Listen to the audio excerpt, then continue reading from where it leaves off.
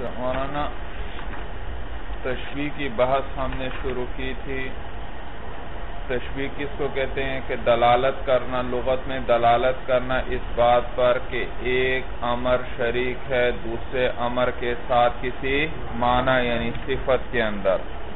اور اصطلاح میں کہتے ہیں اصطلاح میں تین قیود کا اضافہ ہے کہ علا وجہ الاستعارہ تحقیقیہ علا وجہ الاستعارہ بالکنایا اور علا وجہ تجرید نہ ہو گئی پھر انہوں نے بحث کی اس کی طرفین میں سب سے پہلے بھائی اور طرفین جو ہیں وہ یا تو دونوں حصی ہوں گے یا دونوں عقلی ہوں گے، یا ایک حصی ہوگا اور ایک عقلی ہوگا مولانا اور دونوں اگر مختلف ہوں یعنی کبھی مشبہ حصی ہوگا، مشبہ بھی عقلی ہوگا، یا کبھی مشبہ عقلی ہوگا، مشبہ بھی حصی ہوگا۔ جیسے موت کی تشبیح دینا درندے سے، اب موت جو ہے وہ عقلی ہے اور درندہ حصی ہے۔ یہ اس کا عکس ہوگا کہ عطر کی تشبیح دینا خلوق سخی شخص کے اخلاق کے ساتھ بھائی۔ تو عطر جو ہے محسوس ہے اور مشبہ بھی خلق کریم جو ہے وہ کیا ہے؟ عقلی ہے بھائی، اس لیے کہ وہ بدن کی، نفس کی ایک نفس کی ایک کیفیت کا نام ہے، جس کی وجہ سے نیک، اچھے، ممدوح افعال سہولت ہوتے ہیں بھائی۔ اور یہاں پر ایک اعتراض ہوا تھا کہ بھائی اصل تو حصی ہے، وہ قوی ہے اور جو عقلی ہے وہ اس کے مقابلے میں ضعیف ہے اور قوی کی تشبیح ضعیف کے ساتھ نہیں دی جاتی، بلکہ ضعیف کی تشبیح کس کے ساتھ دی جاتی ہے؟ قوی کے ساتھ۔ تو انہوں نے بتلایا تھا کہ یہاں ہم جو ہے اس عقلی کو حصی کے درجے میں اتار دیتے ہیں، مبالغے کے طور پر اور پھر اس تو اب دونوں حصی جب ہو گئے تو اب حصی کی تشبیح کس سے آ گئی؟ حصی سے آ گئی۔ جی۔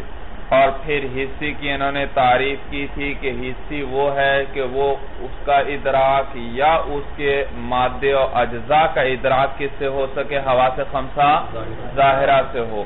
تو یہ جو انہوں نے قید بڑھائی کہ اس کے مادے کا بھی یعنی اس کے اجزاء کا ادراک بھی ہو سکے ان سے حواس سے، تو اس سے خیالی بھی داخل ہوا مولانا۔ خیالی وہ چیز جس کا خارج میں کوئی وجود نہیں، لیکن اس کے جو اجزاء آپ نے جن اجزاء سے اس کو ترتیب دیا ہے، وہ سارے کیا ہیں؟ محسوس بل، محسوس ہیں مولانا ہوا سے خمسہ ظاہرہ سے۔ جیسے کہ شاعر نے تشبیح دی تھی مولانا، کس کو؟ گل لالا جو ہے، جو ہوا میں لہلہا رہا ہے، سرخ رنگ کا پھول، سبز رنگ کی ڈنڈی پر اس کی تشبیح دی تھی سرخ یاقوت کے جھنڈوں کے ساتھ جو پھیلائے ہوئے ہوں زبرجت کے نیزوں پر بھائی۔ اب یہ سرخ یاقوت کے جھنڈے زبرجت کے نیزوں پر پھیلے ہوئے لہلہا رہے ہوں بھائی۔ یہ تو ہم نے کبھی نہیں دیکھا بھائی۔ لیکن البتہ اس یہ خیالی چیز ہے، البتہ اس کے جو اجزاء ہیں، سارے کے سارے نیزے ہیں، زبرجد ہے، یاقوت ہے، جھنڈے ہیں، سارے کے سارے کیا ہیں؟ ان کا ادراک کس سے ہوتا ہے؟ حواس سے ہوتا ہے وہ۔ جبکہ اس کے مقابلے میں وہمی ہے مولانا، وہمی بھی اسی طرح خیالی چیز ہوتی ہے، لیکن اس کے اجزاء جو ہیں، مدرک بیل حص نہیں ہوئے کبھی بھی بھائی۔ ہاں یہ بات ہے، اگر کبھی ادراک ممکن ہو ان کا، تو ادراک کس سے ہوگا؟ حواس ہی سے ہوگا، لیکن ہوا نہیں کبھی ادراک ہوئے۔ جیسے مولانا اس قول کے اندر تھا، ایقتلونی والمشرفی مضاجعی ومسنونت زرقن کا انیابی اغوالی۔ کیا وہ شخص مجھے قتل کر دے گا؟ اور مشرفی تلواریں جو ہیں، وہ میرے وہ میرا پہلو ہیں، میرے پہلو کی جگہ ہیں۔ اور تیز دھار والے صاف و شفاف تیر ہیں کا انیابی اغوالی، جیسے بلاؤں کے دانت ہوتے ہیں۔ اب بلائیں اور بلاؤں کے دانت ان کا ادراک کبھی ہوا نہیں مولانا، تو یہ ایک وہمی اور خیالی چیز ہے۔ ہاں البتہ اگر اس کا ادراک کبھی ممکن ہوا تو کس سے ہوگا ادراک؟ حواس ہاں، سے ہی ہوگا مولانا۔ جی۔ پھر علامہ تفتازانی نے یہاں آپ کو وہ قوت مفکرہ کے بارے میں بتلایا کہ قوت مفکرہ کیا کرتی ہے، یہ جوڑ توڑ والا سارا کام اور خیالی چیزیں کون بناتی ہے؟ قوت مفکرہ اور قوت متخیلہ، اسی کا نام ہے۔ یہ بناتی ہے مولانا۔ ہاں۔ جی۔ جیسے کہتے ہیں اس نے یہ بلا کی صورت اس نے اپنی طرف سے بنائی، حالانکہ اس کو دیکھا نہیں، لیکن اس نے اتنا سنا، ایک شخص نے کہ بلا ایک چیز ہوتی ہے جو لوگوں کو ہلاک کرتی ہے، تو وہ قوت واہمہ اس کی صورت بنانا شروع کر دیتی ہے، کس کی؟ درندے کی صورت میں۔ اور اسی طرح مولانا، تو اس میں داخل ہوئے عقلی جو ہے عقلی کے اندر کون؟ وہمی بھی داخل ہوا اور اسی طرح وجدان کے ساتھ جن کا ادراک ہوتا ہے، وہ بھی داخل ہوئے۔ وجدان ایک قوت ہے بدن کے اندر جو صفات نفس کا ادراک کرتی ہے مولانا، جیسے بھوک ہے، پیاس ہے، خوشی، غم، خوف، تکلیف وغیرہ۔ جی۔ تو لذت جو ہے، لذت جو ہے، یہ ادراک ہے مدرک یعنی اس قوت کا کس چیز کا؟ ایسی چیز جو اس کے نزدیک کمال اور خیر ہے۔ اس کے نزدیک کمال اور جس چیز میں کمال اور خیر ہو اس کے ادراک کرنے سے اس کو یہ لذت لذت محسوس کریں گے آپ۔ والعلم اور اسی طرح وہ چیز جو آفت اور شر ہے مولانا اس کے ادراک کے اندر کیا محسوس ہوگا؟ علم محسوس ہوگا بھائی تکلیف محسوس ہوگی۔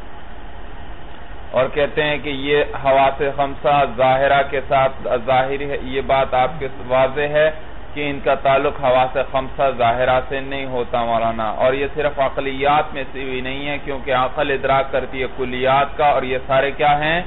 جزیات ہیں بھائی، بلکہ کہتے ہیں یہ دو قسم پر ہیں بعض صرف حصی ہیں اور بعض صرف کیا ہیں؟ عقلی ہیں مولانا یعنی حص باطن بعض کا ادراک کرتی ہے اور بعض کا جی؟ جی بعض کا حواس خمسہ باطنہ ادراک کرتے ہیں اور بعض کا عقل ادراک کرتی ہے یعنی عقلی محض ہیں بعض اور بعض حصی محض ہیں۔ حصی محض کا معنی یہ ہے جن کا ادراک حواس خمسہ باطنہ کرتے ہیں۔ اور عقلی محض وہ جس کا جو کلی ہیں، جن کا ادراک صرف کون کرتی ہے؟ عقل کرتی ہے۔ اس لیے کہ آپ نے پڑھا تھا، عقل کلیات کا بھی ادراک کرتی ہے جزیات کا بھی کرتی ہے، لیکن کلیات کا بالذات کرتی ہے اور جزیات کا بل واسطہ کرتی ہے بھائی۔ تو بات صرف عقلی ہیں یعنی وہ ادراک بھی عقل نے کیا اور وہ ہیں بھی کلی۔ وہ ہیں بھی کلی۔ اور بعض جزیات ہیں، تو ان کا ادراک بھی عقل نہیں کرے گی اور کون کریں گے؟ حواس خمسہ باطنہ تو مدرک بھی کون ہوا؟ حواس خمسہ عقل نہ ہوئی مولانا۔ کون ہے حواس خمسہ؟ باطنہ اور مدرک جو ہے وہ بھی جزی ہونے کی وجہ سے عقلی نہیں ہے، بلکہ کیا ہے؟ جی، حصی ہی میں داخل ہو۔ یہ بحث ختم ہوئی مولانا۔ کس کی تھی؟ مشبہ۔ اور مشبہ بھی طرفین جو تھے، ان کی بحث ختم ہوئی۔ اب وجہ تشبیح کی بات آئی مولانا۔ وجہ تشبیح وَوَجْهُ وَجْهُ تَشْبِيهِ مَا يَشْتَرِكَانِ فِيهِ وجہ تشبیح جو ہے ما، یہ مراد معنی ہے، معنی اس کا مدلول معنی ہے۔ وہ معنی ہے یشترکانی فیہی جس کے اندر مشبہ اور مشبہ بھی دونوں کیا ہوں؟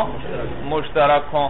ای فی المعنی اللذی قصد اشتراک الطرفین فیہی یعنی اس معنی میں جس میں ارادہ کیا گیا ہے طرفین کی شریک ہونے کا۔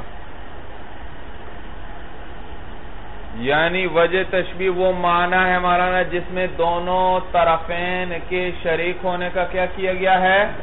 ارادہ کیا گیا ہے۔ یہ قصد کا لفظ علامہ تفتازانی نے بڑھایا بھائی۔ اس لیے کہتے ہیں کہ مشبہ اور مشبہ بہی میں اور بھی بہت سی ایسی چیزیں جن میں دونوں شریک ہوتے ہیں۔ مثلا آپ نے کہا زید کل اسدی فی شجاعتی۔ تو آپ نے زید میں اور زید کو تشبیح دی کس کے ساتھ؟ شیر کے ساتھ. کس چیز میں؟ بہادری. میں. تو آپ کا ارادہ تشبیح دینے کا صرف بہادری میں ہے اگرچہ اور بھی بہت سی چیزوں میں زید اور شیر میں مماثلت ہے مشارکت ہے مولانا. مثلا شیر کی دو آنکھیں ہیں زید کی بھی دو آنکھیں ہیں. بھئی شیر کے دو کان ہیں زید کی بھی دو کان ہیں. اسی طرح شیر کا ایک منہ ہے زید کا بھی ایک منہ ہے. تو شیر کا ایک شیر کا جسم ہے، زید کا بھی جسم ہے۔ تو بہت سی چیزیں ہیں جن کے اندر دونوں شریک تھے، لیکن ارادہ کس کے ساتھ متعلق ہے؟ صرف بہادری کے ساتھ۔ بھائی، اسی لیے انہوں نے قصد کا لفظ بڑھایا۔ وہ معنی ہے جس کے اندر ارادہ کیا گیا ہے، طرفین کی شریک ہونے کا۔ وَذَالِكَ اور بیان اس کا یہ ہے وہ بیان ذالکا بیان اس کا یہ ہے مولانا لِأَنَّ زَيْدَ زیدن والاسد یشترکانی اس لیے کہ زید اور اسد دونوں جو ہیں شریک ہیں، بہت سی ذاتیات وغیرہ کے اندر، جیسے حیوانیت میں بھی شریک ہیں، جسمیت میں بھی شریک ہیں، وجود میں بھی شریک ہیں، اور اس کے علاوہ بھی، ما ان شیئا منہا لیسا وجہ شبہی باوجود اس کے کہ ان میں سے کوئی بھی چیز وجہ شبہ نہیں ہے، کیونکہ ان میں سے کسی میں شرکت کے بتلانے کا ارادہ نہیں کیا گیا۔ وَذَلِكَ الْإِشْتِرَاكُ يَكُونُ تَحْقِيقًا او تَخْيِيلًا یہاں سے یہ بتلا رہے مولانا کہ دو وہ جو اشتراک ہے وہ حقیقتاً ہوگا یا خیالی ہوگا مولانا؟ حقیقتاً کا یہ معنی کہ نفس العمر اور خارج میں بھی وہ صفات ان دونوں میں موجود ہوں گی یا دونوں میں موجود نہیں ہوں گی ظاہر کے اعتبار سے. وَالْمُرَادُ بِالتَّخْيِلِ تو کہتے ہیں یہ اشتراک یا تحقیقاً ہوگا تحقیقی ہوگا یا تخیلی؟ اور تخیلی سے مراد یہ ہے کہ اللہ یوجد ذالک المعنی فی احد الطرفین او فی کلیہما الا علی سبیل تخیلی وابید کہ نہ پایا جائے وہ معنی کسی ایک جانب یا دونوں جانب، مگر کس طریقے پر؟ خیال اور تعویل کے طریقے پر۔ دونوں دونوں طرف یا ایک طرف خیالی ہے وہ معنی۔ جیسے معافی قولی جیسے اس شیر کے اندر ہے وَقَعَنَّ نُجُومَ بَيْنَ دُجَاهُ سُنَنُ لَاحَ بَيْنَهُنَّ ابْتِدَاعُ گویا کے ستارے بین دجاہو تاریکیوں میں، رات کی تاریکیوں میں، گویا کے ستارے رات کی تاریکیوں میں سنن سنتیں ہیں۔ لاح بینہن ابتداعو کہ جن کے درمیان بدعتیں چمک رہی ہیں۔ یہاں قلب ہے مولانا، اس شیر مصر ثانی میں۔ چمکتی سنت ہے یا بدعت ہے مولانا؟ سنت چمکتی ہے۔ تو یہاں اصل میں ہے کس طرح؟ سنن ابتداع لاح بینہن سنن بئی بدتیں جن کے درمیان کیا چمک رہی ہیں؟ سنتیں چمک رہی ہیں بھائی۔ تو یہ قلب ہے مصر ثانی میں۔ یہ آگے جا کر علامہ تفتازانی بھی آپ کو بتلائیں گے بھائی۔ جی۔ گویا کے ستارے رات کی تاریکیوں میں وہ اسی طرح ہیں جیسے سنتیں بدتوں میں چمک رہی ہوں۔ تشبیح سمجھ میں آ رہی ہے بھائی؟ کس کی تشبیح دے رہے ہیں؟ ستارے۔ کس میں؟ رات کی تاریکی میں۔ اس کو تشبیح دیے کس کے ساتھ؟ سنتوں کے ساتھ۔ کس میں بیچ کس کے؟ بدعتوں کے بیچ، بھائی۔ بدعتوں کے بیچ۔ دیکھیے بھائی، اب النُّجُومَ بَيْنَ دُجَاهُ جَمْعُ یہ دجا جمع ہے دجیا کی وہی الظلمتو اور یہ کس کو کہتے ہیں؟ تاریکی کو کہتے ہیں وَالزَّمِيرُ لِلَّيْلِ اور ضمیر یہ دجاہو کی ضمیر کس کو راجے ہے؟ رات طرف کو جو گزشتہ شیر میں ہے مولانا۔ وَرُبْيَ دُجَاہا کہتے ہیں بعض روایت اس شیر کی دجاہا مونس کی ضمیر کے ساتھ آیا ہے بعض روایتوں میں۔ اس صورت میں وہ ضمیر للنجوم ضمیر کس کو لوٹے گی؟ ستاروں کو لوٹے گی۔ سنن سنتیں ہیں، لاح بینہن ابتداؤ، کہ روشن ہیں ان کے بیچ میں بدعت۔ بھائی، یہ قلب ہے، اس میں میں نے آپ کو بتلایا۔ فَإِنَّ وَجْهَ الشِّبْهِ فِيهِ، اس لیے کہ وجہ شبہ ان دونوں کے بیچ میں۔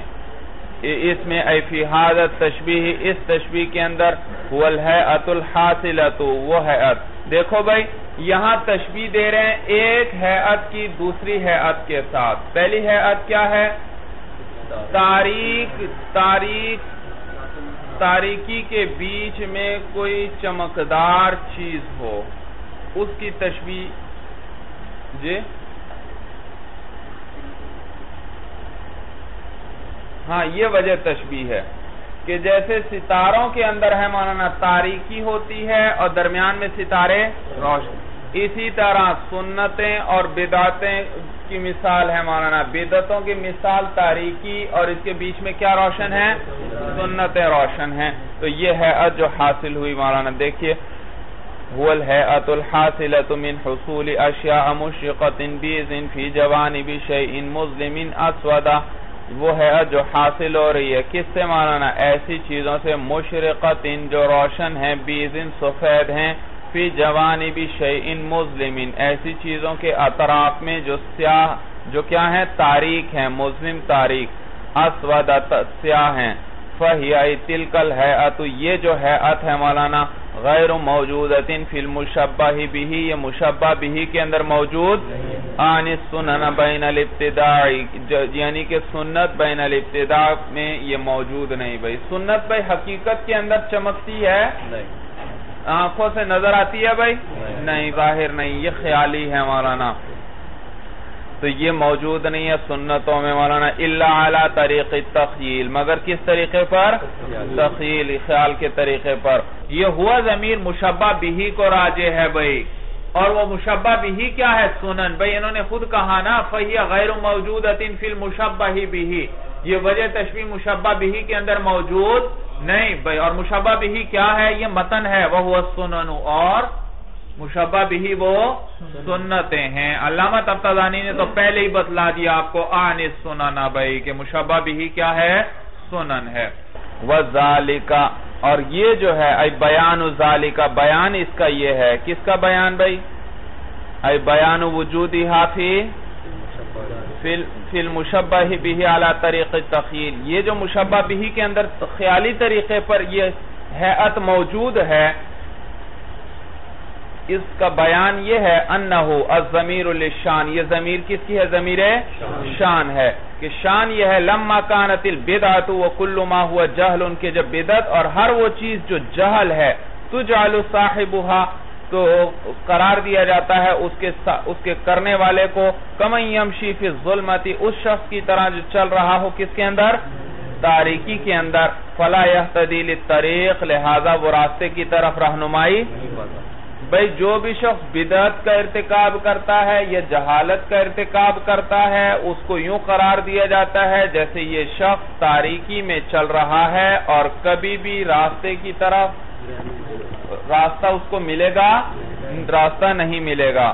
ولا یا منومن اینال مکروہن اور نہ ہی وہ معمون ہوگا اس بات سے، محفوظ ہوگا اس بات سے اینال مکروہن کہ حاصل ہو، اس کو کوئی ناگوار چیز بھئی کوئی ناگوار چیز، اسے، ناگوار چیز کا سامنا کرنا پڑے، اس سے بھی محفوظ نہیں رہے گا۔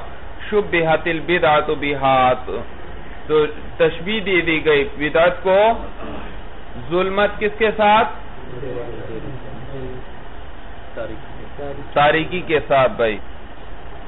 بات تشبیح سمجھ میں آ رہی ہے بھائی؟ وَلَّذِمَ بِطَرِيقِ الْعَقْسِ اور لازم آیت طریقے پر اذا ارید التشبیح جب تشبیح کا ارادہ کیا گیا، ان تشبہت سنت وکل ما ہوا علم بالنوری کہ تشبیح دیا جائے سنت کو اور ہر اس چیز کو جو علم ہے، کس کے ساتھ؟ نور. بھئی جب آپ نے بدعت کو اور جہالت کو کس کے ساتھ تشبیح دی؟ تاریکی کے ساتھ. تو جیسے تاریکی کے اندر چلنے والا راستہ نہیں پاتا، اسی طرح جہالت اور بدعت پر چلنے والا بھی راستہ نہیں، اس کو رہنمائی نہیں ہوتی. تو جب ان کی تشبیح آپ نے دے دی تاریکی کے ساتھ اور سنت مقابل میں آتی ہے، کس کے؟ بدعت کے۔ اور علم مقابل کس کے آتا ہے؟ جہل کے۔ تو جہل اور بدعت کی جب تشبیح آپ نے تاریکی سے دی، تو دوسرے کی اب تشبیح کس سے دی جائے گی؟ روشنی کی۔ جو اس کا مقابل ہے، اس کی تشبیح کس سے ہوگی؟ وہ اس کا مقابل ہے، مولانا۔ اور جب ایک طرف اندھیرا آپ نے ذکر کر دیا تو دوسری طرف کیا ذکر کرنا پڑے گی؟ روشنی مولانا۔ تو ان کو تشبیح دی جائے گی نور اور روشنی کے ساتھ۔ لِأَنَّ السُنَّةَ وَالْعِلْمَ مُقَابِلُ الْبِدْعَةِ وَالْجَهْلِ۔ اس لیے کہ سنت اور علم مقابل ہیں کس کے؟ بدعت اور جہل کے۔ کما ان نور مقابل الظلمتی جیسے کہ روشنی وہ مقابل ہے کس کے؟ تاریکی کے۔ وشاع ذالکہ اور شائع ہوئی کون سنت والعلم کا نور سنت اور علم کا نور ہونا اور والبدعتی والجہل اور بدعت کا اور بدعت کا اور جہل کا کا ظلمتی کس کی طرح ہونا؟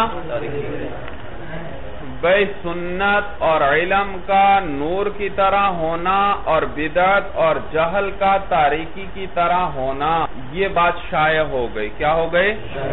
عوام میں شائع ہے، رائج ہے مولانا۔ حتی تخیلو یہاں تک کہ خیال کی تخیلہ یہاں تک کہ خیال کیا جاتا ہے۔ ان الثانیہ، ای سنت وکل ما ہوا علم مما لہو بیاض و اشراق۔ کہ ثانی جو ہے یعنی کہ سنت اور ہر وہ چیز جو علم ہے مما ان چیزوں میں سے ہے لہو بیاض و اشراق جس کے لیے سفیدی ہے اور چمک ہے۔ بات سمجھ میں آ رہی ہے بھائی؟ آسان سی بات ہے مصنف نے بڑی طویل کر دی بھائی۔ نحو ات سمجھانے کے لیے اچھی طرح۔ نحو اتیتکم بالحنیفیت البیضا یرحم اتیتکم بالحنیفیت البیضا جیسے مولانا حدیث ہے مولانا حضور صلی اللہ علیہ وسلم، کیا فرماتے ہیں؟ میں لے کر آیا ہوں تمہارے پاس۔ ایسی ایسا دین جو سیدھا ہے البیضا اور کیا ہے؟ سفید ہے مولانا حنیفیہ صفت ہے ملت کی۔ اتیتکم بالملت الحنیفیت البیضا ملت دین کو کہتے ہیں مولانا سمجھ میں آیا بھائی؟ دین حنیف وہ دین جو سیدھا ہو، جس میں کسی قسم کی کوئی کجی نہ ہو۔ والاول والا تو یہ ثانی جو ہے وہ سنت یعنی مشبہ بھی مولانا والاول یعنی مشبہ، وہ اول کون ہے بھائی؟ ہاں یہ جو انہوں نے سمجھانا شروع کیا، اس میں جہل اور بدت کو پہلے ذکر کیا تھا۔ اول جو ہے یعنی بدت علی خلاف ذالکہ وہ اس کے خلاف ہے۔ ای ویخیل یہ خیال کیا جاتا ہے، ان البدعت وکل ما ہوا جہل کے بدت اور ہر وہ چیز جو جہل ہے، مما ان چیزوں میں سے ہے، لہو سواد و اسلام، اس کی اس میں کے لیے سیاہی ہے اور تاریکی ہے۔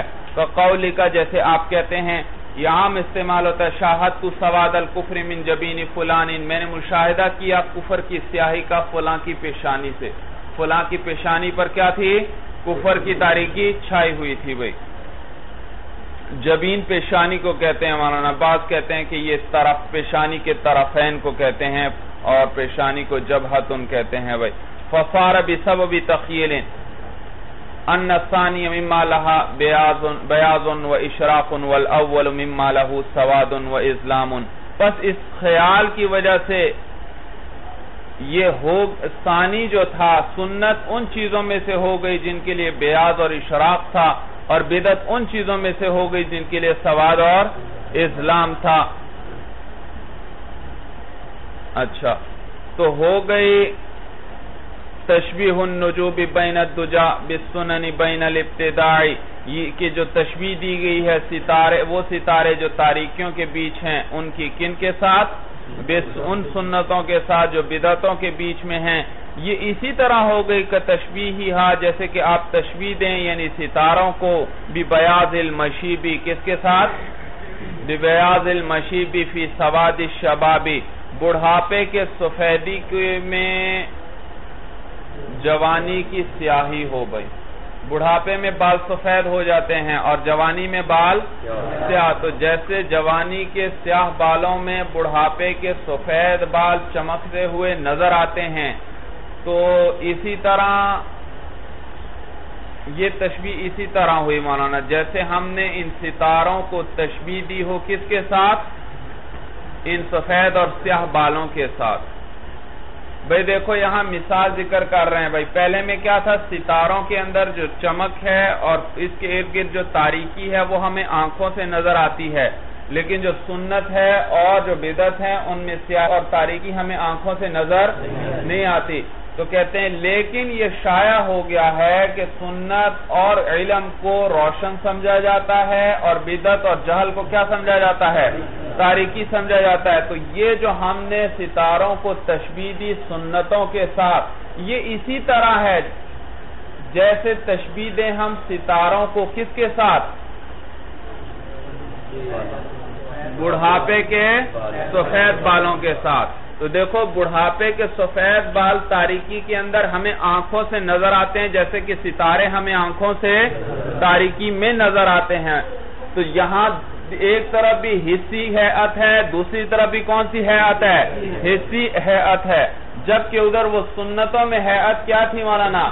خیالی تھی، لیکن چونکہ وہ شائع ہو چکی تو وہ بھی اسی طرح ہے جیسے ہم ایک حصی چیز کی کیا کر رہے ہوں؟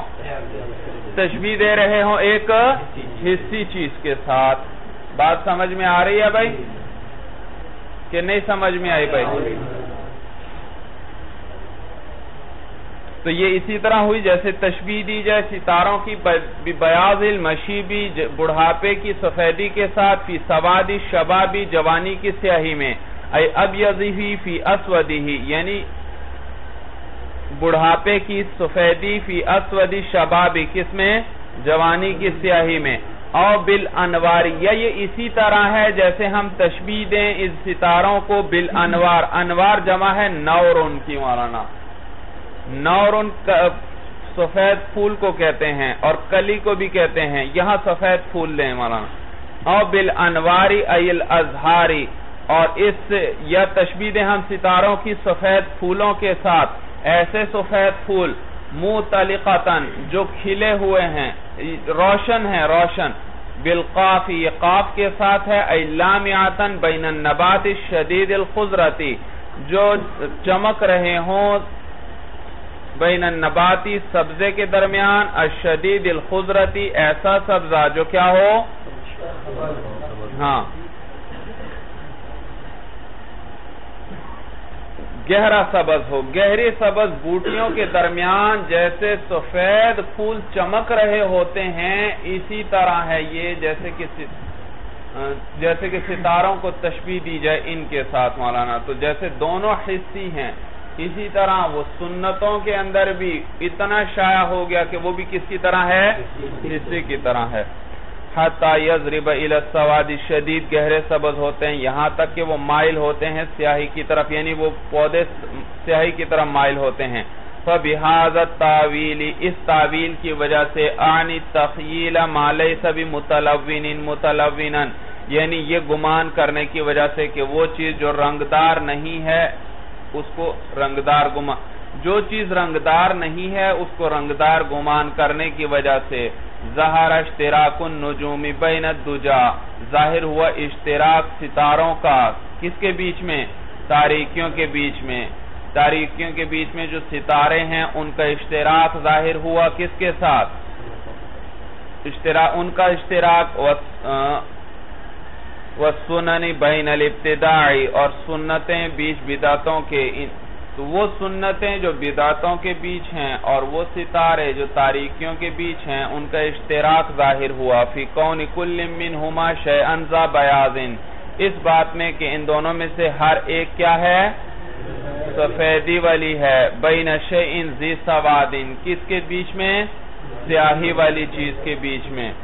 ولا یخفا، اور یہ بات مخفی نہیں ہے، ان قولہو کہ شیر شاعر کا یہ قول جو ہے، لا حبینہن ابتداعو من باب القلب، یہ کس سے ہے باب القلب؟ اصل میں ہے، ای سنن لاحت بین الابتداع، سنتیں چمک رہی ہیں، کس کے بیچ میں؟ بدعتوں کے بیچ میں، بھائی۔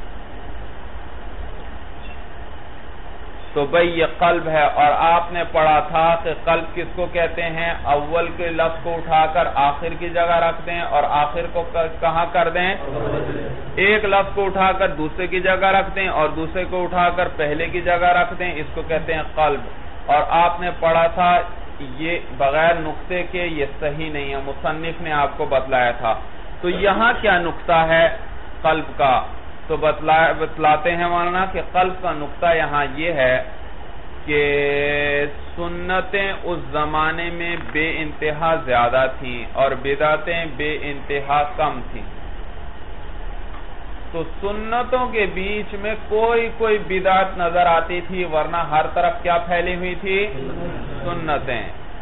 جیسے تاریکی مولانا ہر طرف پھیلی ہوتی ہے، بیچ میں کوئی کوئی ستارہ نظر آتا ہے۔ تو اسی طرح ہر طرف کیا تھی؟ سنتیں پھیلی ہوئی تھی اور ان کے بیچ میں کوئی کوئی لیکن چونکہ روشنی کس کے اندر ہے؟ سنت کے اندر ہے۔ بدت کے اندر تو کیا ہے؟ تاریخی ہے۔ اس لیے تو یہ انہوں نے اس لیے قلب کیا مولانا۔ اور نیز اسی لیے سنت کے لفظ کو جمع لے کر آئے اور بدت کے لفظ کو مفرد لے کر آئے بھائی۔ فاول من وجود، وجوب اشتراکی طرفین فی وجہ تشبیح یہ تو آپ کو پتا چل گیا مولانا کہ وجہ تشبیح وہ ہے جس کے اندر دونوں شریک ہوتے ہیں، مشبہ بھی اور دونوں کے اندر وہ وجہ پائی جانی چاہیے۔ اس سے پتا چل گیا کہ بعض لوگوں نے یہ جو کہا تھا، عربی کا آپ نے سنا ہوگا، النحو فی الکلامی کالملح فی نحو کلام کے اندر یہ اسی طرح ہے، جیسے نمک کس کے بیچ میں ہے؟ کھانے کے بیچ میں۔ تو دیکھو یہاں نحو فی الکلام کو تشبیح دی ہے ملح فی الطعام کے ساتھ۔ تو بعضوں نے پھر اس کی وجہ تشبیح کیا بیان کی؟ کون القلیل مصلحا والکثیر مفسدا۔ کہ قلیل مصلح ہے اور کثیر کیا ہے؟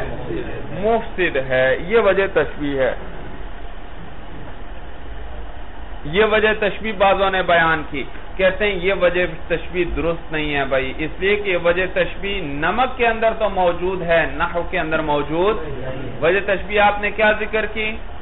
تھوڑا استعمال کریں تو ٹھیک کر دے گا کھانے کو، اور زیادہ استعمال کریں تو خراب ہاں تو قلیل مصلح ہے، اصلاح کرنے والا ہے، اور قصید فاسد کرنے والا ہے۔ یہ نمک میں تو یہ وجہ ہے مولانا، نمک کھانے میں مناسب ڈالیں گے تو کھانا مزیدار ہے، اگر زیادہ ڈال دیں گے بھائی تو پھر کھانے کے قابل نہیں۔ لیکن نحو کے اندر ایسا نہیں۔ نحو ہوگی کلام کے اندر یا نحو نہیں ہوگی۔ اگر ہوگی تو پھر کلام اس کا معنی سمجھ میں آئے گا۔ اگر اس میں نحو کی رعایت نہیں ہے فائل کو منصوب پڑھ رہے ہیں اور مفول کو منفو پڑھ رہے ہیں مفول کو کیا پڑھ رہے ہیں؟ مرفوع پڑھ رہے ہیں۔ پھر تو معنی ہی سمجھ میں نہیں آئے گا بھائی۔ تو لہٰذا اس کو وجہ تشبیح بنانا صحیح۔ اس لیے کہ ہم نے علت بیان کر دی کہ وجہ تشبیح وہ ہے جس کے اندر دونوں کیا ہوں؟ شریک ہوں۔ اور یہ وجہ ایک میں پائی جا رہی ہے قون القلیل مفتحن والکثیر مفسدن دوسرے میں پھر کیا وجہ تشبیح کیا ہے ان دونوں میں؟ کہتے ہیں وجہ تشبیح ہے الصلاح بالاستعمال والفساد بالاحمال بھائی۔ الصلاح بالاستعمال والفساد بالاحمال کہ استعمال کرنے سے اصلاح ہوگی اور نہ کرنے سے فاسد ہوگی۔ فاول ایمان من وجوب اشتراکی طرفینی فی وجہ تشبیحی پس جان لیا گیا اس بات سے کہ وجہ تشبیح کے اندر طرفین کا شریک ہونا واجہ ہے۔ اس سے جان لیا گیا، فساد جعلی ہی فی قول القائل، ای فساد جعل وجہ تشبیح قائل کے اس قول کے اندر جو انہوں نے وجہ تشبیح بنائی تھی، اس کا فساد پتا چل گیا۔ اس قول کے اندر النحو فی الکلامی کالملح فی التعامی نحو کلام کے اندر، وہ اسی طرح نمک جیسے کھانے کے اندر۔ یہ وجہ تشبیح کسی نے بنائی تھی، مولانا، اس کے فساد کا پتا چل گیا بھائی۔ جی۔ جی۔ فی قول القان نحو فی الکلام کالملح فی التعامی کون القلیل مصلحا والکثیر قلیل کا مصلح ہونا اور کثیر کا مفسد ہونا اس وجہ تشبیح کے فساد کا پتہ چل گیا۔ لئن المشبہ آن النحو لا یشترک فی هذا المعنی، اس لیے کہ مشبہ یعنی نحو، وہ اس معنی کے اندر مشترک نہیں، وہ شریک نہیں۔ لأن النحو لا يحتمل القلة والكثرة اس لیے کہ نحو میں قلت و کثرت کا استعمال نہیں ہے۔ اس لا یخفا، اس لیے کہ یہ بات مخفی نہیں ہے۔ ان المراد به ہا ہنا رعایت قواعده واستعمال احکامه، کہ یہاں پر نحو سے مراد اس کے قواعد کی رعایت ہے اور اس کے احکام کو استعمال کرنا ہے۔ مثل رفع الفاعل و نصب المفعول جیسے فائل کا رفع ہے اور مفعول کا وہ نصب ہے اور یہ اگر کلام کے اندر پائے جائیں بکمالہا کامل طور پر صار صالحا لفہم المراد۔ ہاں کلام اس قابل ہو جاتا ہے کہ مراد کو سمجھا جائے وَإِلَّمْ تُوجد۔ اور اگر نہ پائی جائے یہ نحو مولانا بقی فاسدان تو باقی رہے گا فاسد۔ ولم ينتفع به، اور اسے نفع بھی نہیں حاصل کی۔ بخلاف الملح بخلاف نمک کے فإنه يحتمل القلة والكسرة کہ وہ قلت اور کثرت کا احتمال رکھتا ہے۔ بِأَن يُجْعَلَ فِي الطَّعَامِ الْقَدْرُ الصَّالِحُ مِنْهُ کہ ڈالا جائے تعام کے اندر، اس کی قدر الصالح منه اس کی وہ مقدار جو درست کرنے والی ہو، او اقل او اکثر۔ ہو یا کیا ہو؟ کم ہو یعنی کیونکہ وہ احتمال رکھتا ہے کہ جتنی مناسب مقدار ہے وہ اس میں ڈالا جائے یا اس سے کم ڈالا جائے یا اس سے زیادہ ڈالا جائے۔ ہاں تو کہتے ہیں، بل وجہ شبہ بلکہ وجہ تشبیح ہوا صلاح بھی اعمالہا والفساد بھی احمالہا۔ وہ صلاح ہے استعمال سے اور فساد ہے احمال ترک کر دے۔ تو وجہ تشبیح ہے صلاح بالاستعمال اور فساد بالاحمال۔ وہ ہوا ای وجہ یہ الگ تقسیم کر رہے ہیں مولانا۔ ای وجہ التشبیح اما غیر خارج عن حقیقتہما۔ دیکھو بھئی وجہ تشبیح جو ہے یہ مشبہ ہے مولانا، یہ مشبہ بھی ہے۔ ان دونوں میں وجہ تشبیح ہوگی، اس میں دونوں شریک ہوں گے۔ مشبہ میں بھی وجہ تشبیح پائی جائے گی اور مشبہ یہ جو وجہ تشبیح ہے، یا تو ان دونوں کی حقیقت میں دا حقیقت سے خارج ہوگی یا حقیقت سے خارج اگر حقیقت سے خارج نہیں تو پھر یا تمام حقیقت ہوگی یا جز حقیقت ہوگی۔ یہ مشبہ ہے مولانا یہ مشبہ بھی ان دونوں میں یہ کس چیز میں شریک ہیں؟ وجہ شبہ۔ وجہ شبہ دونوں میں پائی جا رہی ہے۔ اب وہ وجہ شبہ ان دونوں کی حقیقت میں ان دونوں کی حقیقت سے خارج ہوگی یا خارج نہیں ہوگی۔ اگر حقیقت سے خارج نہیں، تو پھر یا تو وہ تمام حقیقت ہوگی یا جزء۔ یوں کو آسان لفظوں میں بھئی وجہ تشبیح ان کی حقیقت میں داخل ہوگی یا داخل؟ اگر داخل ہے تو پھر یا وہ تمام ماہیت ہوگی یا جزء ماہیت۔ اور اگر خارج ہے تو پھر وہ صفت ہوگی مولانا۔ مشکل ہے بات بھائی۔ اگر خارج ہے تو پھر لازمی بات ہے وہ صفت ہوگی۔ پھر صفت مولانا دو قسم پر ہے۔ یا صفت حقیقی ہوگی یا صفت اضافی ہوگی۔ حقیقی کا یہ اضافی کا یہ معنی ہے، اس کا سمجھنا غیر کے سمجھنے پر موقوف ہوگا۔ اور حقیقی کا یہ معنی غیر کے سمجھنے پر وہ موقوف نہیں ہے، بلکہ اس چیز کے اندر قرار پکڑے ہوئے ہے، واقعاتاً صفت موجود ہے۔ اور اضافی کے اندر غیر کو نہیں سمجھیں گے تو وہ صفت بھی ہمیں سمجھ میں نہیں آئے گی۔ تو کتنی قسمیں ہوئی مولانا؟ یا تو وہ وجہ تشبیح غیر خارج ہوگی یا جی؟ بھائی جواب دیا کریں، جواب دیا کریں۔ بھائی میں آپ کے منہ سے کلوانا چاہتا ہوں۔ جی اول کیا ہوگی؟ یا غیر داخل نہ کہیں، کیونکہ آگے اشکال وارد ہوگا مولانا۔ غیر خارج ہوگی یا خارج ہوگی؟ اگر خارج ہے، اگر غیر خارج ہے تو پھر یا وہ تمام حقیقت ہوگی یا جزے حقیقت ہوگی۔ اور اگر خارج ہے تو پھر وہ صفت ہوگی، تو وہ صفت پھر یا صفت حقیقی ہوگی یا صفت اضافی ہوگی مولانا؟ صفت حقیقی اضافی میں نے بتایا جس کا سمجھنا غیر کے سمجھنے پر، اور حقیقی جس کا سمجھنا غیر کے سمجھنے پر موقوف نہ ہو۔ پھر حقیقی بتلائیں گے آپ دو، حقیقی صفت دو قسم پر ہے، یا حصی ہوگی یا عقلی ہوگی۔ یا حصی ہوگی یا دیکھیے بھائی وہ وجہ تشبیح ما غیر خارج عن حقیقتی ما یا تو وہ خارج نہیں ہوگی مشبہ مشبہ بھی کی حقیقت سے۔ ای حقیقت طرفین دونوں طرفین کی حقیقت سے۔ بھی یکون تمام ماہیت ہما یا تمام ماہیت ہوگی اور جز امین ہما یا جز ماہیت۔ ہوگی۔ کما فی تشبیح صوبن بھی آخر جیسے کہ تشبیح دی جائے کپڑے کی دوسرے کپڑے کے ساتھ فی نوعی ہما اس کی نوع کے اندر اور جنس ہما یا جنس کے اندر اور فصل ہما یا کس کے اندر؟ فصل۔ بھئی ایک کپڑے کی تشبیح دی دوسرے کپڑے کے ساتھ۔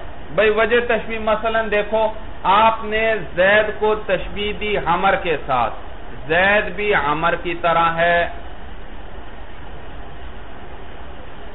یا آپ نے تشبیح دی امیر کی، غریب کی ساتھ۔ غریب امیر بھی کس کی طرح ہے؟ غریب یا غریب بھی کس کی طرح ہے؟ کس بات میں بھائی؟ نو کے اندر۔ جس میں؟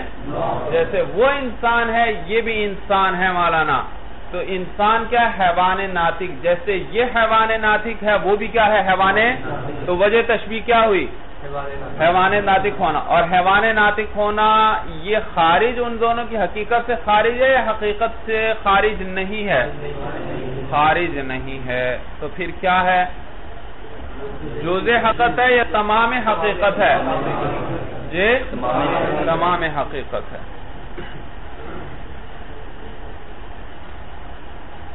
تو یہ معنی ہے مولانا، تمام ماہیت میں دونوں شریک ہوں گے یا جز کے اندر۔ جز مولانا جیسے صرف حیوان ہے، جنس مولانا۔ انسان کی حقیقت کیا؟ حیوان ناطق۔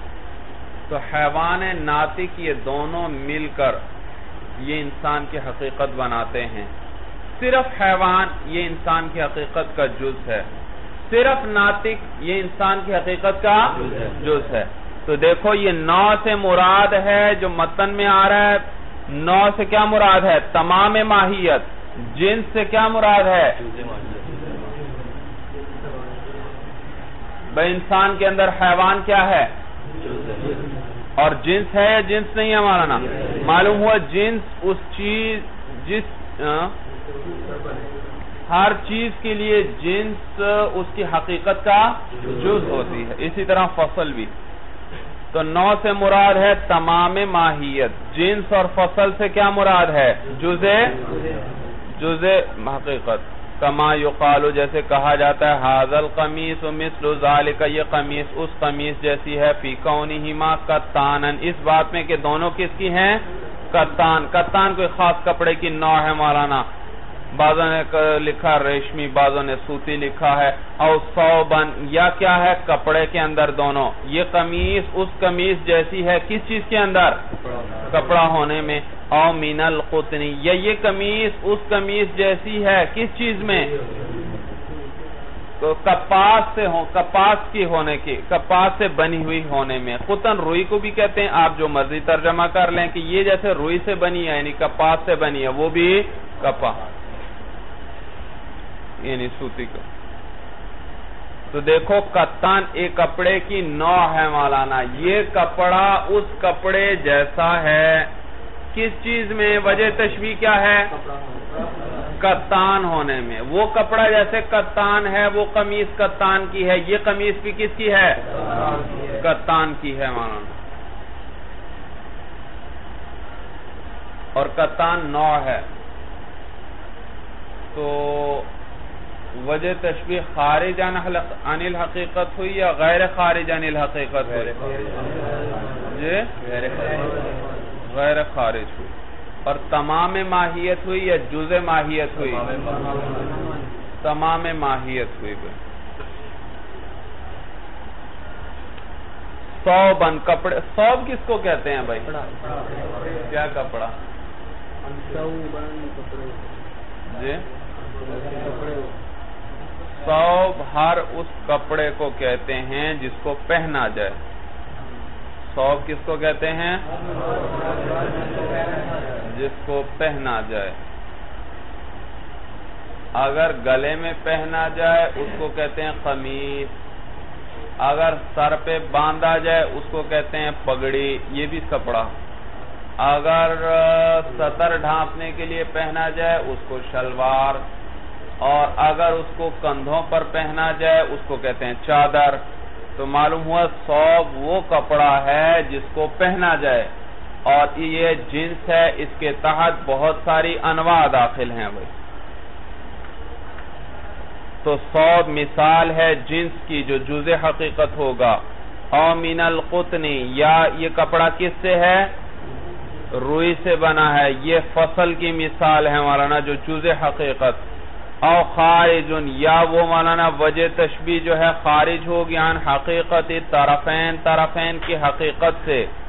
صفتن اور وہ خارج پھر کیا ہوگی؟ صفت ہوگی۔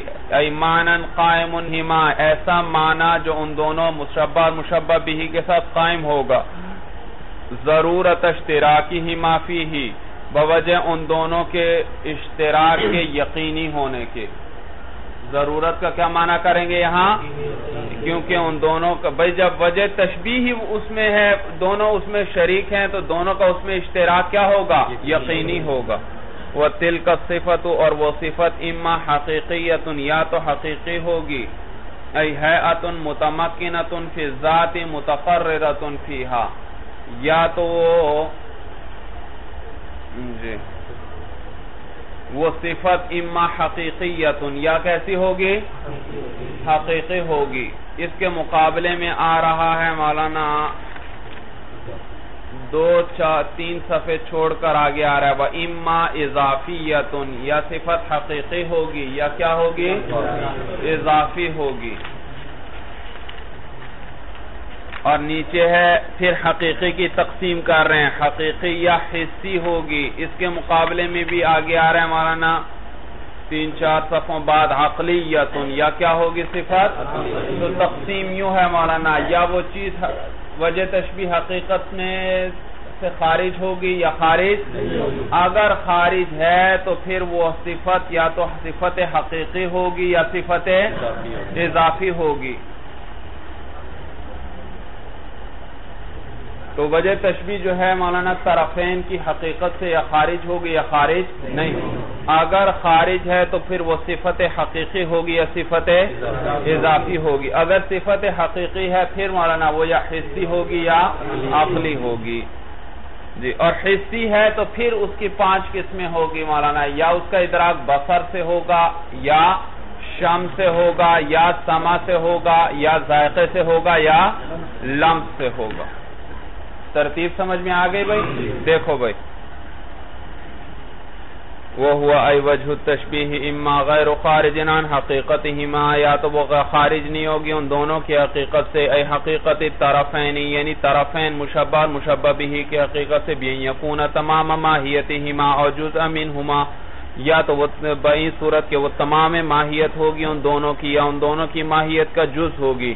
کما فی تشبیح صوبن بھی آخرا جیسے تشبیح دی جائے ایک کپڑے کی، دوسرے کے ساتھ فی نو ہما، کس میں؟ اس کی نوع کے اندر، اور جنس ہما یا جنس کے اندر یا فصل کے اندر، کما یقالو کہا جائے یہ حاضل قمیص مثل ذالک، یہ کپڑا یہ قمیص، اس قمیص جیسی ہے۔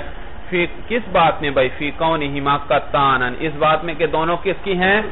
کتان تو جیسے امیر کی تشبیح دی جاتی ہے، غریب کے ساتھ، تو امیر غریب کی طرح ہے۔ کس چیز میں؟ انسان ہونے میں۔ اور انسان کی حقیقت کیا ہے؟ حیوان ناطق مولانا۔ تو دونوں کی حقیقت ایک ہوئی مولانا۔ تو دیکھو، وجہ تشبیح حقیقت سے خارج نہیں ہے، بلکہ تمام ماہیت ہے۔ یا یہ قمیص اس جیسی ہے، کس چیز میں؟ سو بن کپڑا ہونے میں مولانا۔ او من القطنی، یا کس چیز کے اندر؟ روئی کے ہونے میں، او خارج عن حقیقت طرفین، یا وجہ تشبیح دونوں طرفین کی حقیقت سے خارج ہوگی اور صفت ہوگی۔ صفت کا کیا معنی مولانا؟ ایمانا قائم بہما یعنی ایسا معنی ہوگا جو دونوں کے ساتھ ہو کیونکہ حقیقت تو ہے نہیں، تو پھر ایسا معنی ہوگا جو ان دونوں کے ساتھ قائم ہی، ضرورت اشتراک ہی، معافی ہی، بوجہ ان دونوں کا اشتراک۔ طرفین کا اشتراک اس میں کیا ہوگا؟ یقینی ہونے کی وجہ سے دونوں کے ساتھ قائم ہوگی۔ کیونکہ جب وجہ تشبیح کس کو کہتے ہیں؟ جس میں دونوں آپس میں شریک ہو مشبہ میں بھی پائی جائے اور ہاں تو جب وہ صفت ہے تو یقینی طور پر دونوں اس کے اندر شریک ہوں گے، دونوں کے ساتھ قائم ہوگی۔ وہ تل کا صفت اور وہ صفت اما حقیقیت یا تو حقیقی ہوگی، ای حیعت متمکنت فی ذاتی یعنی وہ حیعت جو متمکن ہوگی، کس کے اندر؟ ذات میں متقررت فی یعنی اس میں قرار پکڑا ہوا ہوگا بھائی، اس میں۔ اس میں قرار پکڑا ہوگا حسیت پھر حقیقی یا تو کیا ہوگی؟ حسی ہوگی۔ ای مدرکتن بی احد الحواسی۔ یعنی ادراک کیا جائے گا اس کا حواس میں سے کسی ایک کے ساتھ۔ کل کیفیات الجسمیتی جیسے جسمانی کیفیات. ہیں۔ المختصت بالاجسام یعنی وہ خاص ہیں وہ جو خاص ہیں جسم کے ساتھ یعنی اس کے ساتھ قائم ہیں۔ جیسے کہ جسمانی کیفیات مما ان میں سے یدرق بالبصر جن کا ادراک کس سے ہوتا ہے؟ بصر کے ساتھ ہوتا ہے۔ بھائی بصر کے ساتھ کس چیز کا ادراک ہوتا ہے؟ خود آگے بتلا رہے ہیں۔ مین الوان والاشکان، اب الاشکال یعنی کہ رنگ ہیں اور شکلیں ہیں۔ والمقادیر اور مقداریں ہیں۔ والحرکات اور کیا ہیں؟ حرکات ہیں۔ وما يتصل بها اور وہ چیزیں جو ان کے ساتھ ملی ہوئی ہیں بھائی۔ دو تین کے مجموعے کے صورت میں بھائی۔ او بالسمع یا ان کا ادراک کیفیات جسمیہ کا ادراک کن کے ساتھ ہوگا؟ سما کے ساتھ ہوگا۔ بھئی سما سے کس چیز کا ادراک ہوتا ہے؟ کہتے ہیں من الاصوات القویت والضعیفت واللتی بین بین یعنی کہ وہ آواز قوی ہوں یا ضعیف ہوں یا متوسط ہوں۔ او بالذوق، یا ان کیفیات جسمانیہ کا ادراک کس سے ہوگا؟ ذوق ذائقہ سے ہوگا۔ من الطعومی یعنی کہ ذائقے میں اور چکھنے میں اور بشمی یا کس کے ساتھ ہوگا؟ سونگنے کے ساتھ، من الروائح، کس میں سے؟ جو بو ہو۔ مختلف قسم کی جو بو ہو ان سب کا ادراک ہوگا۔ اور باللمسی یا کس کے ساتھ ادراک ہوگا؟ شونے کے ساتھ۔ من الحرارت والبرودت والرطوبت والیبوستی حرارت میں سے یعنی کہ حرارت کسی چیز کے گرم ہونا والبرودت ٹھنڈک کا، والرطوبت خشک تر ہونے کا والیبوست اور خشک ہونے کا، والخشونتی کھردرہ ہونے کا، والملاستی ہموار ہونے کا، واللین نرمی کا، والصلابتی سختی کا وغیرہ وغیرہ مانا والخفتی اور ہلکا ہونے کا والثقلی اور بھاری ہونے کا، ان سب کا ادراک ہوگا۔ دیکھئے بھئی اب پھر۔ جا۔ کیفیات جسمیہ جو جسم کے ساتھ خاص ہیں، جن کا ادراک بسر کے ساتھ ہوتا ہے۔ امانا علامہ تفتازانی سارے فلسفی باتیں آپ کو بتلائیں گے۔ بسر کس کو کہتے ہیں؟ لون کس کو کہتے ہیں؟ شکل کس کو کہتے ہیں؟ مقدار، حرکت وغیرہ، ہر ایک کی تعریف۔ ہی قوت مترتبت فی العصبتین المجوفتین اللتین تطلاقیان فتفترقان الى العینین من الالوان بصر کہتے ہیں، یہ وہ قوت ہے، مترتبت ای ثابتت، جو ثابت ہے مولانا فی العصبتین، کس کے اندر؟ دو پٹھوں کے اندر. بصر قوت یہ جو ہم دیکھتے ہیں، یہ کس کے اندر ہے؟ دو پٹھوں کے اندر ہے، المجوفتین، جو درمیان سے خالی ہیں. نل کی طرح کے ہیں یا رگ کی طرح کے ہیں مولانا اللہ تینی تطلاقیانی جو آپ میں ملتے ہیں فتح ترقانی پھر کیا ہو جاتے ہیں؟ دوسرے سے جدا ہو جاتے ہیں، الالعینینی، کہاں تک؟ آنکھوں تک۔ مقدم دیکھو، دماغ کے تین خانے ہیں مولانا۔ ایک مقدم دماغ ہے، ایک وسط ہے اور ایک آخر ہے مولانا۔ تو یہ مقدم دماغ کے اندر ہیں، یہ جو قوت بصر ہے مولانا، یہ دو پٹھے ہیں اور یہ یوں آتے ہیں مولانا۔ یوں، یہ دو دال جیسے نہیں ملی ہوتی بھائی؟ یہ آپس میں کس طرح بتاؤں بھائی؟ یوں سمجھو، یوں ہاں۔ یہ جیسے ملے ہوئے نا ان کے حصے آپس میں، تو یہ دماغ میں سے نکلنے کے بعد آپس میں ملتی ہیں دونوں یہ دونوں پٹھے، پھر جدا ہو جاتے ہیں اور جدا ہونے کے بعد ایک ایک آنکھ میں آ جاتا ہے اور دوسرا دوسری آنکھ میں پہنچتا ہے۔ یا بات کہتے ہیں یہ اس طرح یعنی صرف آپس میں پیوست ہیں، پھر واپس مڑ جاتی ہیں۔ بات کہتے ہیں نہیں، اس طرح نہیں ہے۔ بات کہتے ہیں یہ اس طرح ہے بھائی۔ ایک دوسرے کو قطع کرتے ہوئے جاتے ہیں مولانا۔ تو یہ اگلا حصہ دماغ میں ہے اور یہ دونوں آنکھوں میں بھائی ہے جی۔ دیکھا، اس کے اندر یہ قوت بسر اس کے اندر ہے مولانا۔ یہ قوت دوبارہ دیکھو، یہ قوت ہے مترتبت ای ثابتت جو ثابت ہے، مولانا فی العصبتینی کس کے اندر؟ دو پٹھوں میں المجوفتینی جو بیچ میں سے خالی ہیں اللتینی تطلاقیانی جو آپس میں ملتے ہیں فتفترقانی پھر کیا ہو جاتے ہیں؟ جدا ہو جاتے ہیں الالعینین کہاں تک بھئی آنکھوں تک بھئی اچھا من الالوان والاشکال۔ وہ جن کا ادراک بسر سے ہوتا ہے یعنی کہ رنگ ہیں اور شکلیں ہیں۔ شکل کس کو کہتے ہیں؟ وہ شکل ہے اتو احاطت نہایت واحد اور اکثارا بالجسم۔ وہ شکل جو ہے، وہ ہے ات ہے مولانا۔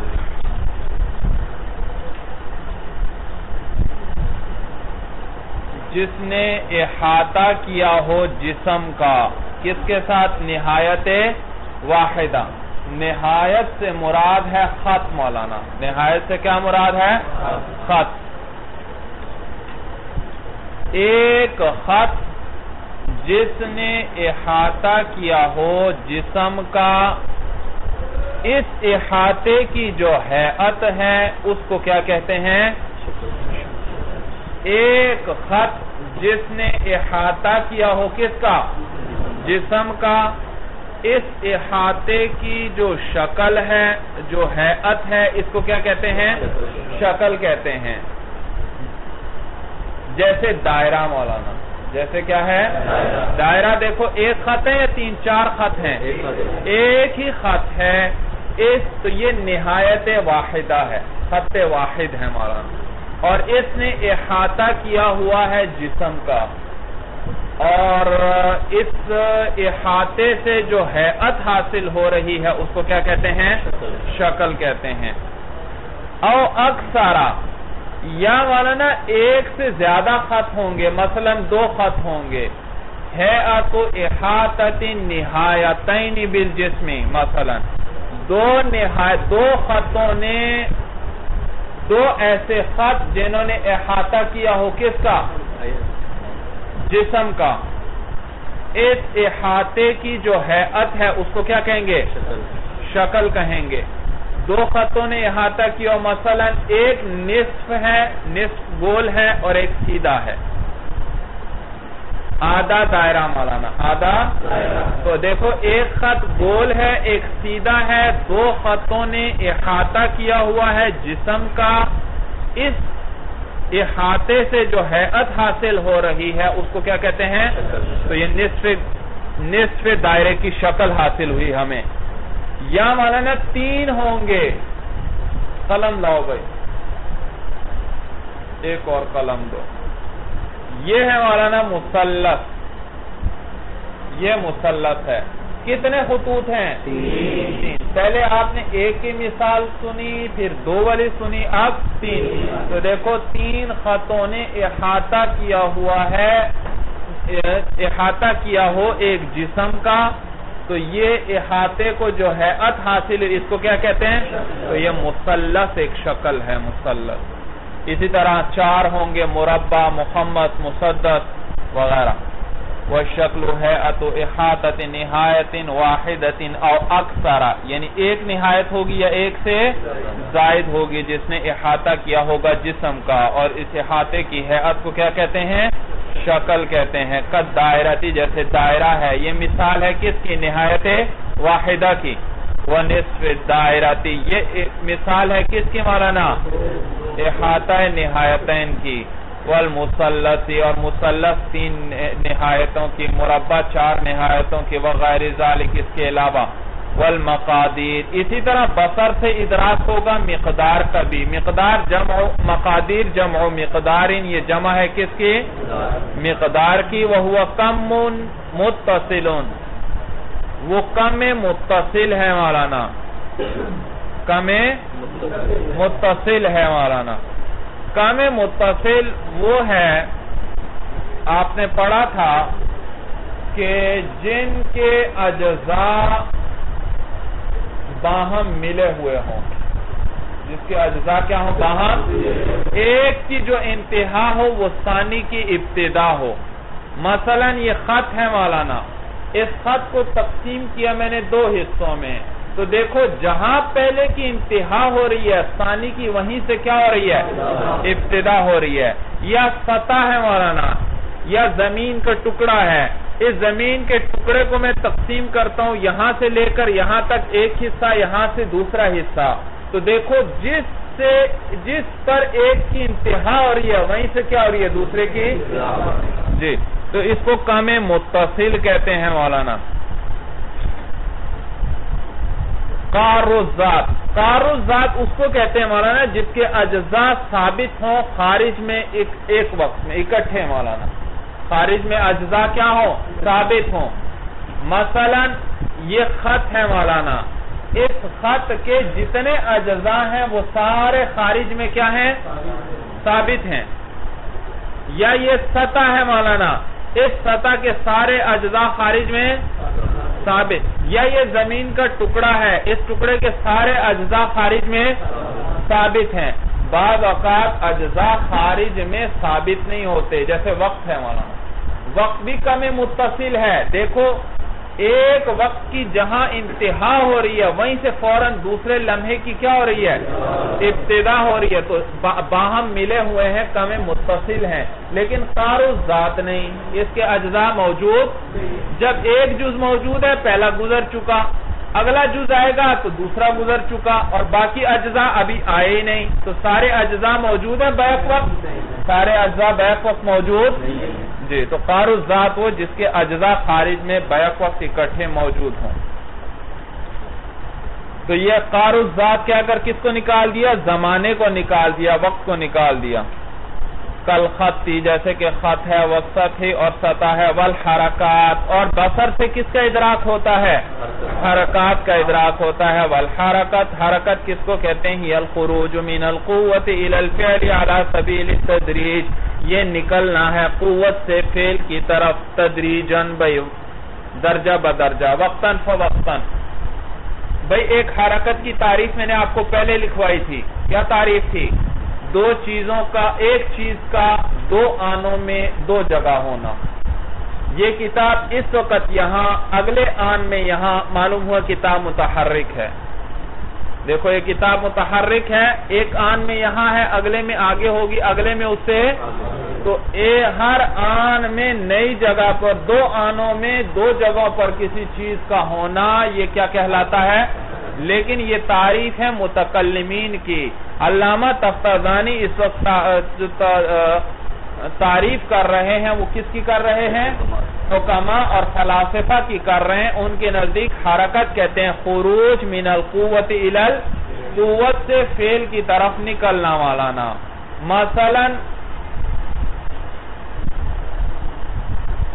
آپ میں بڑھاپے کی صلاحیت ہے یا نہیں ہے؟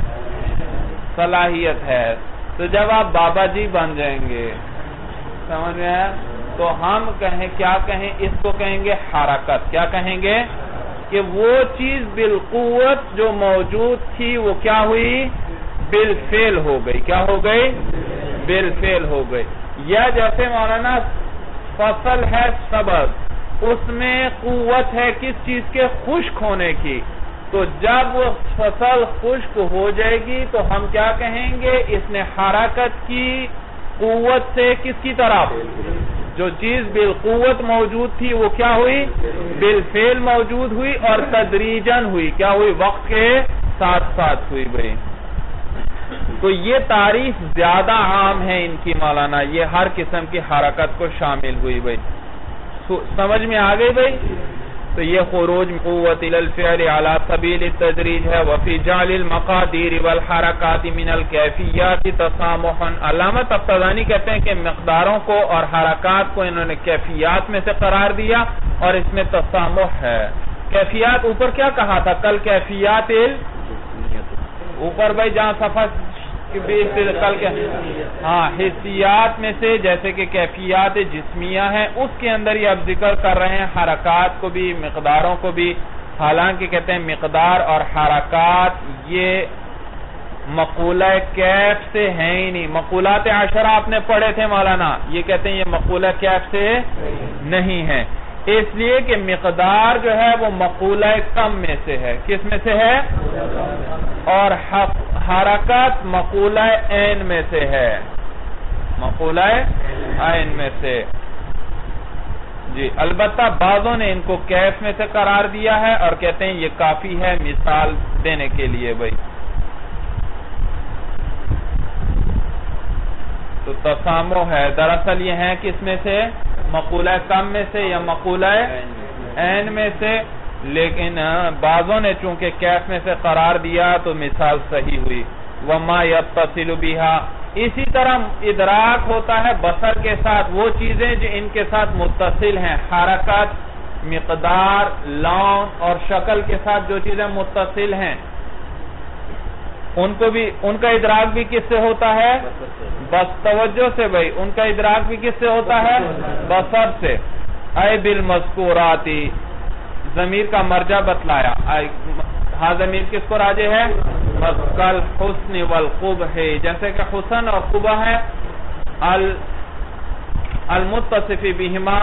کہ جن کے ساتھ متصف ہوتا ہے، الشخص شخص مولانا بے اعتبار الخلقتی کس اعتبار سے؟ خلقت کس کو کہتے ہیں؟ اللہ تی مجموع شکل واللونی جو مجموع ہے شکل اور رنگ کا۔ بے حسن اور قبہ یہ شکل اور رنگ کے مجموعے کا نام ہے۔ نہیں، شکل اور رنگ کے مجموعے کا نام ہے خلقت۔ شکل اور رنگ کے مجموعے کا کیا نام ہے؟ خلقت ہے۔ اور خلقت کہتے، تو اس خلقت کے اعتبار سے کبھی حسن آتا ہے اور کبھی کیا آتا ہے؟ وہ آتا ہے۔ کوئی چیز حسین بنتی ہے یا قبیح بنتی ہے، شکل اور رنگ سے۔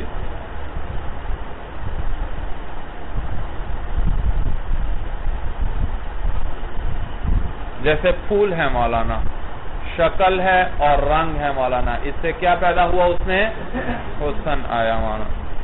وَقَذِّحْكِ وَالْبُقَاءِ الْحَاسِلَيْنِ بِاعْتِبَارِ الشَّكْلِ وَالْحَرَكَتِ جیسے ہنسی اور رونا ہے جو حاصل ہوتے ہیں، شکل اور حرکت ان دونوں سے۔ شکل اور حرکت سے بھائی۔ ہنسی بھائی، ہنسی کس کو کہتے ہیں؟ ہنسی کیسے حاصل ہوتی ہے؟ شکل ہے مولانا ایک انسان کی۔ پھر اس پہ تھوڑی سی حرکت آتی ہے۔ وہ کھل جاتا ہے مولانا، دانت نظر آنے لگتے ہیں۔ زیادہ ہنسا تو زیادہ ہنسا تو زبان اچھا۔ یا مولانا، رونا ہے۔ رونے کے اندر بھی کیا ہوگا؟ شکل بنے گی۔ کیا کس طرح؟ آنکھیں کیا ہو جائیں گی بھائی؟ سکڑ جائیں گی۔ عجیب سی صورت اختیار کر لیں گی۔ اور تو حرکت اور سوکل مل کر اس سے زہق اور بکا حاصل ہوگا۔ تو زہق اور بکا، حسن اور قبا، ان سب کا ادراک بھی کس سے ہوتا ہے؟ بسر سے ہوتا ہے۔ اور بسمع یا ادراک ہو ہوگا ان کیفیات جسمیہ کا مولانا سما کے ساتھ۔ عطفن علی قوله بالبصر، یہ بالبصر پر اس کا عطف ہو رہا ہے۔ والسمع قوت، والسمع وہ قوت ہے، رتبت فی العصب المفروشی جسے جو ثابت کی گئی ہے مولانا یعنی جسے ثابت کی گئی ہے۔ کس کے اندر؟ فی العصب المفروشی اس پٹھے کے اندر المفروش جو پھیلا ہوا ہے۔ علی سطح باطن السماخینی سماخ کہتے ہیں کان کے سراخ کو۔ کان کے سوراخ کے باطن کی سطح پر جو پھیلا ہوا ہے۔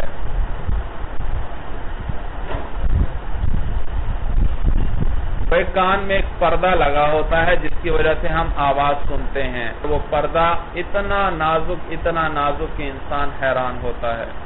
اس پردے کو ذرا نقصان ہو جائے، خراب ہو جائے، تو بس انسان کی سما کیا ہو جاتی ہے؟ ختم ہو تو کہتے ہیں، یہ وہ پٹھا ہے، المفروش۔ جو کیا ہے، اس طرح پھیلا ہوا ہے مولانا۔ کیا ہے؟ پھیلا ہوا ہے۔ اور باطن سماخین، یہ مولانا کان کا سوراخ آ رہا ہے۔ اس کے بالکل سامنے دیوار پر یہ اندر کیا ہے؟ پردہ، پٹھا پھیلا ہوتا ہے۔ ید رقو بحل اسوات ان کے ذریعے، اس کے ذریعے ادراک ہوتا ہے کس چیز کا؟ آوازوں کا۔ من الاسوات القویتی قوی آوازوں میں سے۔ وضعیفتی اور زحل کی آواز بھی واللتی بینا بینا اور وہ آواز جو متوسط ہو اس کا بھی ادراک ہوتا ہے۔ اب آواز آئی تو آواز کس کو کہتے ہیں؟ آواز جانتے ہو بھائی؟ آواز لہروں کا نام ہے۔ لہروں کی صورت میں سفر کرتی ہے۔ آپ دو چیزوں کو آپس میں ٹکراتے ہیں زور سے، مولانا۔ اس سے کیا نکلی؟ آواز۔ آواز۔ اور یہ آواز، یہ ہوا موجود ہے مولانا۔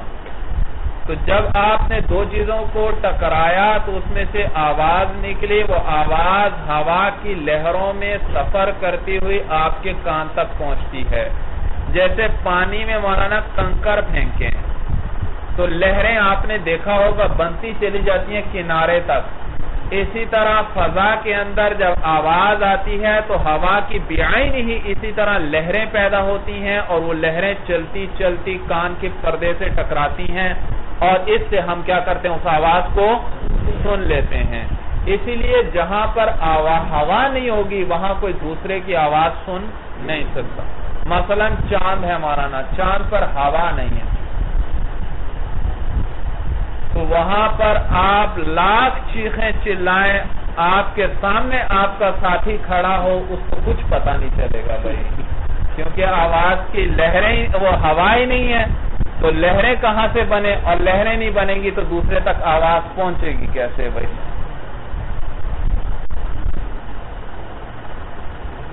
تو یہ مولانا آواز کسی دو چیزوں کے آپس میں ٹکرانے سے پیدا ہوتی ہے۔ یا دو چیزوں کو آپس میں جدا کرنے سے پیدا ہوتی ہے۔ مثلا مولانا دکھاؤ قلم کیا ہے۔ یہ قلم ہے۔ مثلا دیکھو، میں توڑوں گا، آواز آئے گی بھائی۔ سمجھ میں آیا بھائی؟ سب چیز کو توڑتے ہیں، آواز آتی ہے یا نہیں آتی ہمارا تو اسی طرح۔ سمجھ میں آیا بھائی؟ ڈر تو نہیں گئے تھے۔ تو دو چیزوں کے آپس میں ٹکرانے سے یا آپس میں جدا ہونے سے آواز پیدا ہوتی ہے بھائی۔ وَالصَّوْتُ يَحْصُلُ مِنَ التَّمَوُّجِ الْمَعْلُولِ لِلْقَرْعِ۔ اور وہ صوت، آواز جو ہے وہ حاصل ہوتی ہے مِنَ التَّمَوُّج۔ تموج کہتے ہیں لہریں مارنا والا نا لہریں، لہروں سے۔ المعلولی جو پیدا ہوتی ہیں، وہ لہریں جو پیدا ہوتی ہیں، لِلْقَرْعِ، کسے؟ ٹکرانے سے، کس سے؟ ہاں ٹکرانے سے۔ اللہ ہوا امساس عنیف کرا کس کو کہتے ہیں؟ خود بتلا رہے ہیں۔ امساس مولانا ٹکرانا ہے، ٹکرانا۔ عنیف کہتے ہیں شدید کو۔ شدید ٹکراؤ سے۔ کرا کہتے ہیں شدید ٹکراؤ۔ والقلع الذي هو تفریق۔ والقلع والقلع، اس کا عطف قرا پر ہو رہا ہے۔ وہ لہریں ہیں جو پیدا ہوتی ہیں قرا سے یا قلا سے۔ قرا کس کو کہتے ہیں؟ ٹکرانے کو۔ اور قلا کس کو کہتے ہیں؟ اکھاڑنے کو، جدا کرنے کو۔ اور اللہ ہوا تفریق، جو کہ تفریق کا نام ہے، جدا کرنے کا نام ہے، بشرط مقاومت المقروع للقارع والمقلوع للقالع. لیکن شرط یہ ہے، مقاومت کا معنی مانا ہوتا ہے مزاحمت کرنا، مساوات مراد ہے یہاں مساوات، کہ مساوات ہو مقروع اور قارے کے درمیان اور مقلوع اور قالع کے درمیان. بھائی دو چیزوں کو آپ نے ٹکرایا؟ جی؟ مثلا اس قلم کو، یہ قلم ہے ٹکرانے والا، قارع، کیا ہے؟ قارع۔ اور کتاب سے ٹکرا رہا ہے، یہ ہے مقروع۔ شرط یہ ہے ان دونوں میں مساوات ہو سختی کے اندر، مولانا۔ یہ کتاب بھی سخت ہے، یہ قلم بھی سخت ہے۔ اب میں ٹکرا رہا ہوں تو آواز آئے گی۔ لیکن اگر یہ کتاب نرم ہوتی، یہاں نرم روئی پڑی ہوتی، مولانا۔ پھر آواز کوئی پیدا ہوتی؟ نہ، اسی لیے کہا کہ دونوں میں مقابمت مساوات ہونی چاہیے، مقروع اور قارے دونوں میں۔ والمقلوع للقالع، اسی طرح اکھاڑنے والی چیز اور جس سے اکھاڑا گیا، ان دونوں میں بھی سختی میں کیا ہونی چاہیے؟ مساوات ہونی چاہیے۔ جیسے یہ قلم ہے،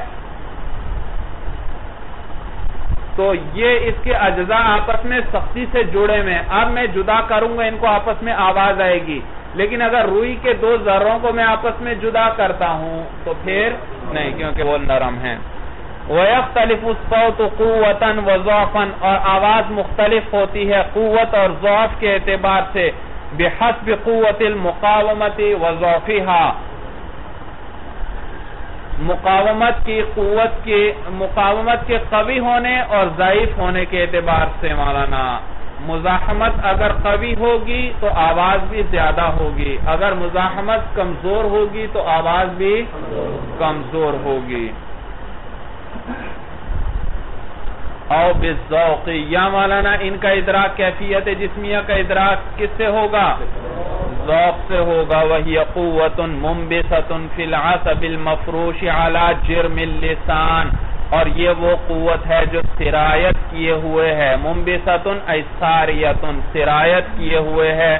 فی العصب المفروش، اس پٹھے کے اندر جو پھیلا ہوا ہے۔ علی جرم اللسان، زبان کے جسم۔ زبان پہ ہے مولانا، یہ ذائقے کی قوت زبان پر کے اوپر جو پٹھا ہے، اس پٹھے میں پھیلی ہوئی ہے مولانا، سرایت کی ہوئی ہے یہ ذائقے کی قوت۔ اور ذوق سے کس کا ادراک ہوتا ہے؟ مینت تو کس کا؟ ذائقوں کا. کل حلاوتی جیسے مٹھاس ہے. والمرارتی، جیسے کڑواہٹ ہے. والملوحتی، جیسے نمکین ہونا ہے. کھاری ہونا ہے.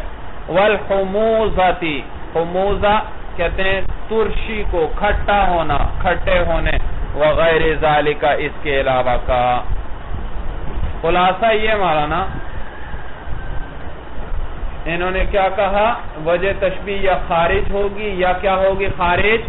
اگر خارج نہیں ہے تو، اگر خارج ہے تو پھر وہ صفت ہوگی یا صفت حقیقی ہوگی یا صفت صفت حقیقی ہو تو پھر مولانا وہ حصی ہوگی یا عقلی اگر حصی ہے تو پھر پانچ صورتیں تھیں، مدرک بالبصار یا مدرک بالسما یا مدرک ذوق یہ دو تین ہم نے پڑھ لیے بھائی۔ بس مولانا هذا هو المرام والله عالم بحقیقت الکلام